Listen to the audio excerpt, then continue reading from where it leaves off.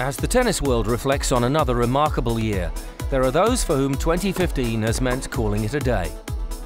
Deciding to retire is never easy. But for the men leaving the ATP World Tour in 2015, there is plenty to celebrate. Mardy Fish is one of three American stars who retired this year.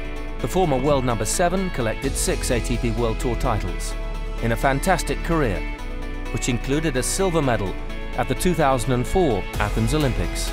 Still hope to stay within tennis and, and try to um, try to share some of my experiences and my knowledge with some of the younger players. I'll definitely stay within tennis and uh, still be uh, involved somewhat. Fish's compatriot Robby Ginepri is another who shone on the ATP World Tour. Ginepri collected three tour-level titles and a run to the 2005 US Open semi-finals helped him reach a career-high ranking of world number 15.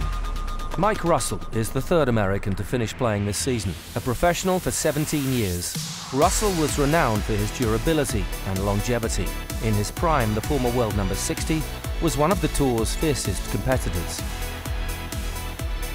Completing the list of stars who closed the curtain on their career in 2015 is Finland's Jarkko Nieminen, a professional for 15 years who climbed as high as world number 13. Jarkko made the most of his time on the ATP World Tour.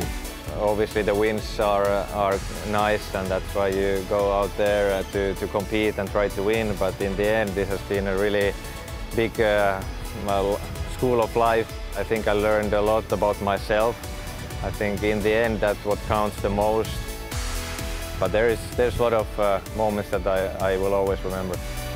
They all made their mark and can look back on some amazing moments. Congratulations on lighting up the ATP World Tour and thank you for the memories.